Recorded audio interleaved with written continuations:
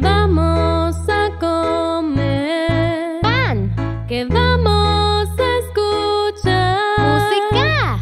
y con los juguetes A jugar. que vamos a estudiar, Español. que vamos a leer, Un libro. que vamos vamos